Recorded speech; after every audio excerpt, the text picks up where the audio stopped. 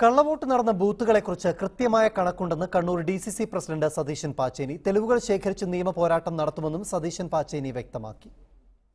കണ്ണൂർ ജില്ലയിൽ കള്ളവോട്ട് അതൊരു വ്യാപകമായിട്ടുള്ള കാര്യമാണ്. ഇപ്പോൾ തന്നെ ഞങ്ങളുടെ കണക്ക് പ്രകാരം പ്രാഥമികമായിട്ടുള്ള വിവരശേഖരണ പ്രകാരം തൊണ്ണൂറ്റിനാല് ബൂത്തുകളിലാണ് പ്രത്യക്ഷമായി കള്ളവോട്ട് നടന്നിട്ടുള്ളത്. അതിൽ എത്രത്തോളം കള്ളവോട്ടുകൾ നടന്നു എന്നുള്ള വിവരം ശേഖരിച്ച് തെളിവുകളടക്കം നിയമ പോരാട്ടം നടത്താനുള്ള തീരുമാനമാണ്. കാരണം ഇനിയെങ്കിലും ഈ കള്ളവോട്ട് രാഷ്ട്രീയം അവസാനിപ്പിക്കണം.